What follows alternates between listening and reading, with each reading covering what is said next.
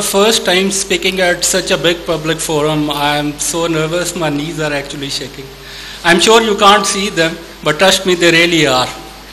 Now that everyone is familiar with the condition of my knees, let me introduce myself. My name is Moezz. I am a social worker, an entrepreneur, and an engineer, at least that's what the plan was. Ever since I was a kid, I wanted to become an engineer.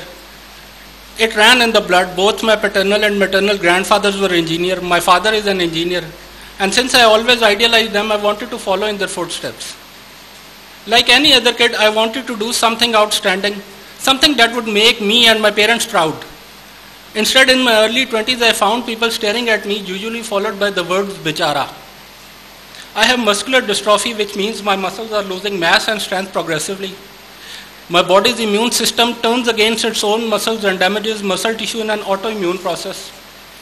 I have spent half of my life with it now. Most of the latter half of my life was spent first not realizing what I have, and when I found out, I was in utter denial. I tried fighting it, but I lost. Eventually, I accepted it and accustomed my life around it. My first symptoms showed up when I was 16. My walking style changed a little, my reflexes started getting slow. But it wasn't that noticeable. I didn't notice it because my body was slowly adapting to it. In the final year of my O level, my class teacher asked me if everything is all right and that I should go see a doctor just in case. But I ignored it. In my A levels, all my classes were on the first floor. And I was having difficulty going up the stairs. This happened because muscles in my legs were getting weaker and I was having difficulty lifting my leg up. I would climb up using wall as a support, sometimes one step at a time. I was getting tired easily. People noticed. Everybody started asking, What's wrong? Funny thing was, even I didn't know. So the day I was done with my A levels, I thought that I should go see a doctor. I met him. He asked me to do some seemingly routine physical tasks, including a squat. But I just couldn't do it. Every time I tried it, I fell backwards He asked me to call someone from my home and I was confused. अब इस बात पे शिकायत तो नहीं ना लगा देनी यार He gave me a note to go see the neurosurgeon immediately. Me and my father met the neurosurgeon. He gave me a list of like 10 blood tests and he said, meet me with the results. In the meantime, I got admission in FC College and moved to FAST or National University a year later to pursue my dream of becoming an engineer. As luck would have it, in both college and university, all my classes were on the first floor. And now it would take a significant amount of time to go up a simple flight of stairs. I was walking slow and in an awkward manner, more like a penguin minus the adorable factor. it was difficult keeping my balance. I was tired all the time. My back started hurting. And I couldn't even sleep properly. After some painful tests, it was confirmed that I have muscular dystrophy. Now I was like, yes, let's get the treatment started. It will all be over soon. How bad can it be? Turns out it's pretty bad. My studies were badly affected. There's no treatment for it. Um, I was put on steroids and a few other medicines to see if they work, but nothing happened. I barely passed my first semester. I got very poor grades in my second semester and even failed a course. That's because during my finals of my second semester, my father came to drop me, and there were two small steps in front of the building that didn't had any support on the side. Now, normally any one of my friends would be nearby who would help me up those steps and would help me get to the class, but that day no one was around. My father asked me if I needed help, and I said, no, I should give it a try. I lifted my foot up, tried to climb the first step. I fell. I hit my neck on the corner of the wall and badly scratched it. People standing around rushed to pick me up. They lifted me up. Some of my friends showed up, and with their help, I went to the class. But the incident had shaken me badly. I couldn't do anything. After this incident, I fell down a couple of more times. Once I was going up the stairs, I lost my balance, fell backwards. My foot got stuck in the railing, and I ended hanging upside down in the stairs. That was both embarrassing and awkward. After this incident, my father wrote to the university to install support railing on the side of those steps and that he would bear the cost of it. No one from the university responded even after writing multiple letters. By the third semester, I was dragging my feet from class to class and building to building. All I could think of was if I could take it anymore. If I can continue, if I, can, if I would be able to finish my dream of becoming an engineer. By the mid of my third semester, it was too hectic and physically too ex- exhausting that I dropped out. My dream to become an engineer was over. I didn't know what to do. I went into depression. I stopped going out. I thought whatever was wrong with me was somehow my fault. I had been bullied, abused, and assaulted because of my disability.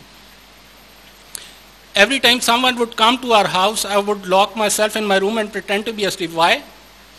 People generally ask why he walks like this.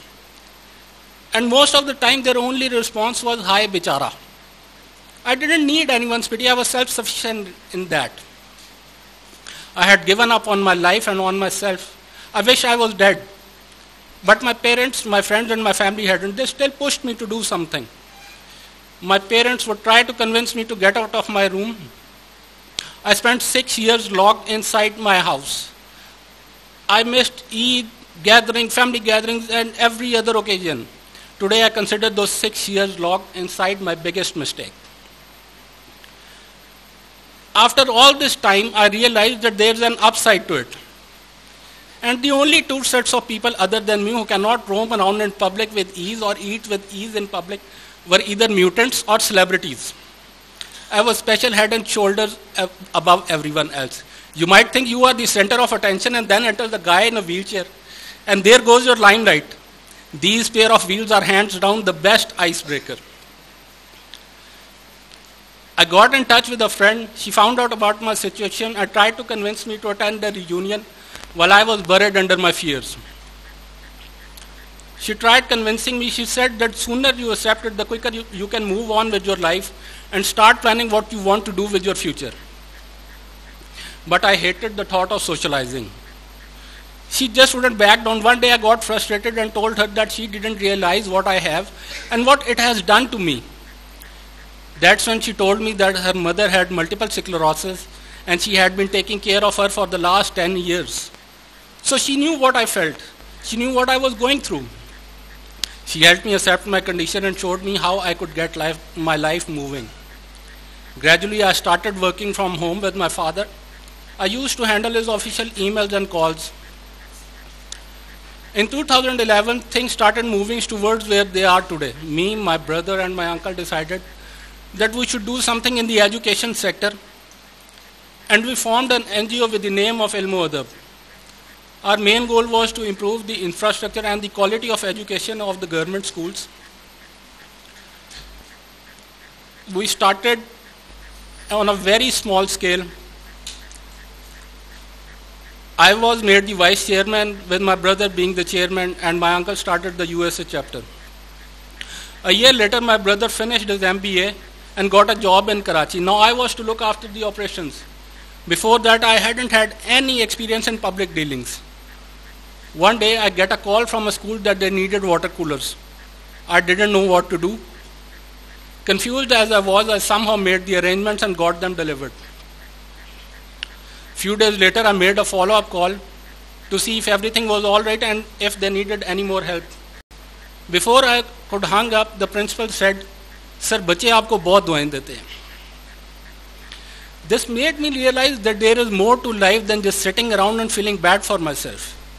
I could still make a difference.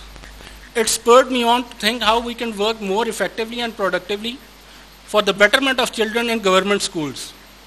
We took in some major projects like providing sports equipment, science lab equipment, books for libraries, water coolers, tubewells for fresh clean water, RO plants, performance award for gifted students from classes shift to intermediate, we even went on and employed some teachers on the payroll of Ilm-o-Adab who are still getting paid by us to help improve the quality and standard of education in government schools.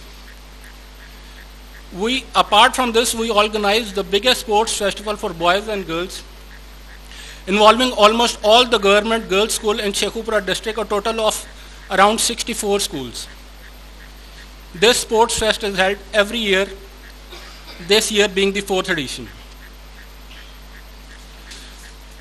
In 2016, Ilm-o-Adab collaborated with LUMS and sent students to women to women's league at LUMS where they were provided the opportunity of uh, coaching and mentoring sessions along with the opportunity to participate with the students from around Pakistan. We, um,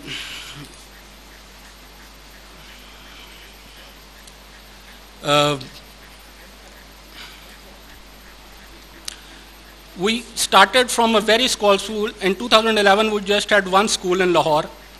And that year, we refurbished its classroom and provided sports equipment. That year, our total expenditure was 300,000 rupees.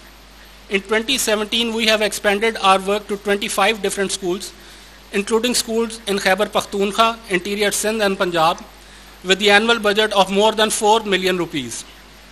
Why all this though? Why did we feel the need to work in the education sector? As a university dropout myself, I can very well understand the opportunities I missed out on. But even then, I consider myself lucky to have even managed to go to that stage. For a staggeringly large number of children in Pakistan, going to primary school is a dream that they are never able to realize. And working with government schools allows us to engage with the largest number of de deserving students out there what we want to achieve with the schools that we work with is that they should be safe havens for students, where the students feel at ease and enjoy themselves.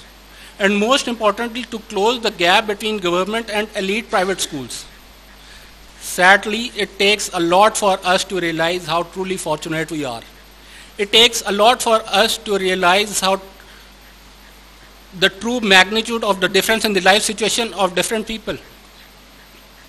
Let's have a quick poll.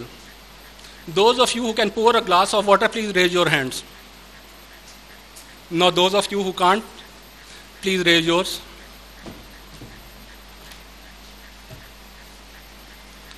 Now imagine getting out of bed, getting into a car, getting out of it, moving around. The guy who can't even pour a glass of water has to do all this with a little help, of course. But that doesn't stop me from believing in my goals. I don't let my inability overshadow my goals. My message for you is this bring intentionality to your life. Doing or not doing something is completely fine if you come up with a reason for that.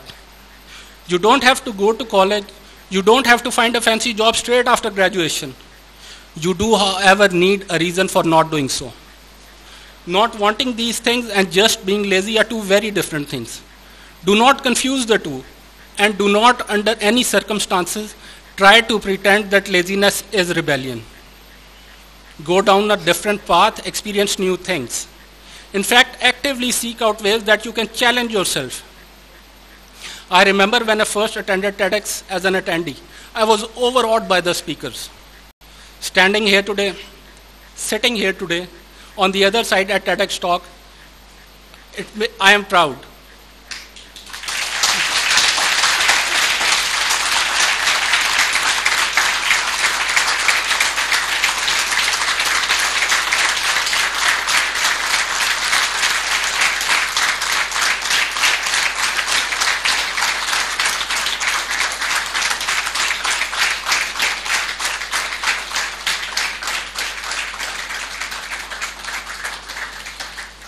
I know this is not a big feat by any objective means, but it does represent a significant step up for me. And that's all you need to do. Challenge yourself to do one step better because you are all that matters. Thank you.